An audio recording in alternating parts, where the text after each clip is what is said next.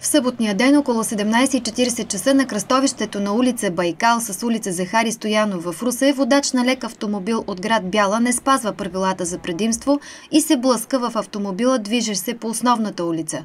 В резултат на удара едната кола се качва на тротуара и блъска вървящата там пешеходка. Тя е откарана веднага в болницата, където е установено, че е с натъртване в областта на гърдите и охлузени рани по гърба. Освободена е за домашно лечение. Проверката за алкохол на двамата водачи е отрицателна.